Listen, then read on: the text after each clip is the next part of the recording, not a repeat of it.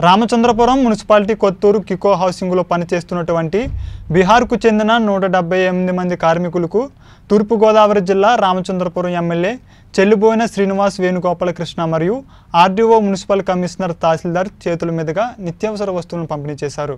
కికో హౌసింగ్లో పనిచేస్తున్న నూట డెబ్బై మంది బీహార్కు చెందిన కార్మికులకు ఎక్కడా కూడా ఆహార లోటు లేకుండా చూడడం కోసం ప్రభుత్వం ఒక్కొక్కరికి పది కేజీల బియ్యం నూనె కందిపప్పు వంటి నిత్యావసర సరుకులను అందిస్తుందని ఎమ్మెల్యే వేణు అన్నారు. ఏ వ్యక్తి కూడా ఆకలితో ఉండకూడదనే ఉద్దేశంతో ఆంధ్రప్రదేశ్ ప్రభుత్వం వారిని ఆదుకోవడానికి ఈ నిత్యావసర సరుకులను అందించడం జరిగిందన్నారు. ఈ కార్యక్రమంలో RDO municipal commissioner tehsildar SI YSRCP కార్యకర్తలు వాలంటీర్లు పాల్గొన్నారు. లో హౌసింగ్ స్కీమ్లో పనిచేస్తున్నటువంటి నూట డెబ్బై మంది బీహార్కు చెందినటువంటి కార్మికులకి ఎక్కడ కూడా ఆహార లోటు లేకుండా చూడడం కోసం ప్రభుత్వం ఈరోజు ఒక్కొక్కరికి పది కేజీల రైసు ఆయిల్ అలాగే వారు ఈ కరోనా వైరస్ నుండి భద్రత పొందడానికి మాస్కులు. ఆర్డీఓ గారు నేను ఎంఆర్ఓ గారు మొత్తం అందరూ. ప్రభుత్వం ఏ ఒక్క వ్యక్తి కూడా ఆంధ్రప్రదేశ్ రాష్ట్రంలో ఆకలితో ఉండకూడదు.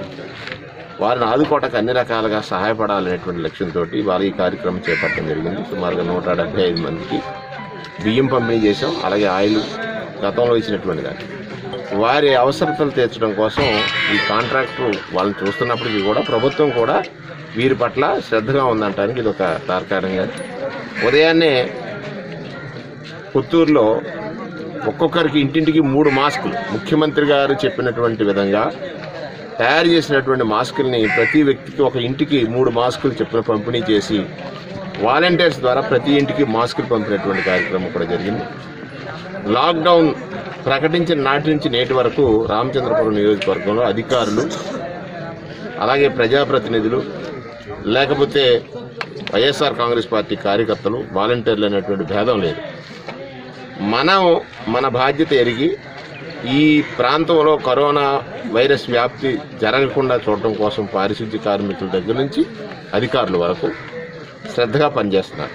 అంచేత ఇవాళ అదృష్టం ఏంటంటే ఇప్పటి వరకు ఈ నియోజకవర్గంలో ఎక్కడా కూడా కరోనా వైరస్ పాజిటివ్ రాలేదు. అది చాలా అదృష్టంగా భావిస్తూ ఇంకా ప్రభుత్వ నిబంధనల అనుగుణంగా ఈ లాక్డౌన్ ఉన్నంత కాలం సామాజిక దూరం అంటే భౌతిక దూరాన్ని పాటించడమే దీనికి ఉన్న ప్రధానమైనటువంటి ఆయుధం ఈ దీన్ని కట్టడికి.